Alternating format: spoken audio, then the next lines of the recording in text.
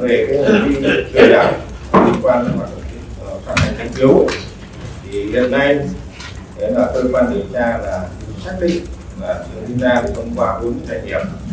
à, được thành lập và đã phát hành 25 cái khoản trái phiếu và thu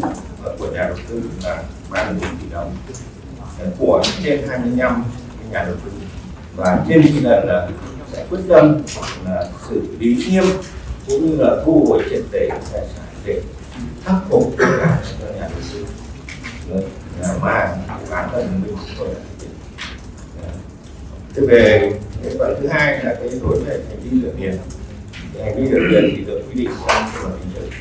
Và theo cái nghị quyết 03 của hội đồng thẩm án toán chúng ta hướng dẫn thì cái hành vi rửa tiền này là, là quy định là có 6 cái hành vi phạm số tiền để trương mỹ lan chiếm đoạt được tham mô hoặc là, là thông qua các hoạt động cho vay chính mình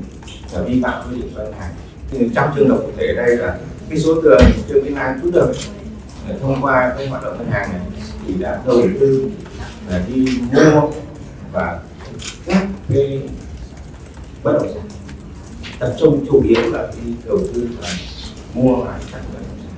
sản mua con để rồi đầu tư các dự án bất động sản lớn để đó tốt. Cái thứ hai là có việc coi như là chuyển tiền ra nước ngoài. Để đầu tư nhưng cái việc chuyển tiền ra ngoài đầu tư thì chúng tôi đã thuật điều tra bị sắp vi phạm để thông qua cho lập thì